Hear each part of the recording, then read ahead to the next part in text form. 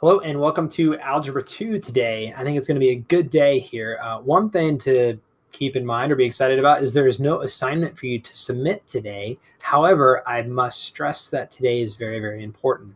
Um, we're going to try to build a little bit of a foundation of some things that we'll spend the next uh, almost week looking at uh, in Algebra 2. So we're going to look at finding zeros from a polynomial. Uh, so you go ahead and download the notes worksheet or there's only two problems on there if you want to just write them excuse me write them down from the video. You probably probably can do that.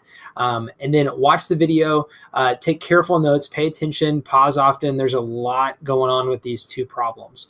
Um, and then i want you to uh, open the next video. And as you push play just pause it after the problems presented and try to find the zeros on your own.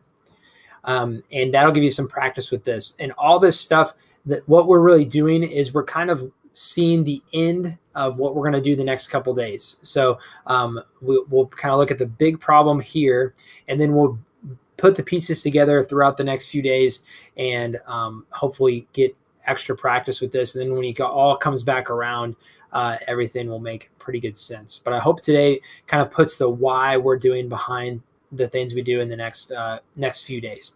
So good luck. Please reach out if you have any questions. And also, today would be a good day to catch up on any assignments uh, that you do not have turned in yet. Take care.